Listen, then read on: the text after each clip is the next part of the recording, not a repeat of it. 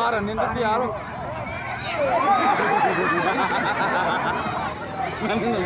Udah baca. Ini mitang mitang ambil deh. Udah, Pak.